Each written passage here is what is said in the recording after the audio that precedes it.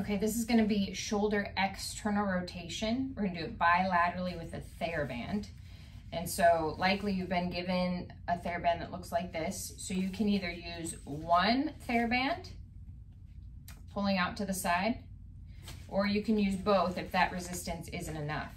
And so with this exercise, you want to bring your elbow at a 90 degree angle. Your shoulder blades are gonna be down and back. You start with some good tension um, on the band and then squeezing those shoulder blades, you're just gonna pull out till the band kind of hits your body and slow and control back. So from the side, out, slow and control back.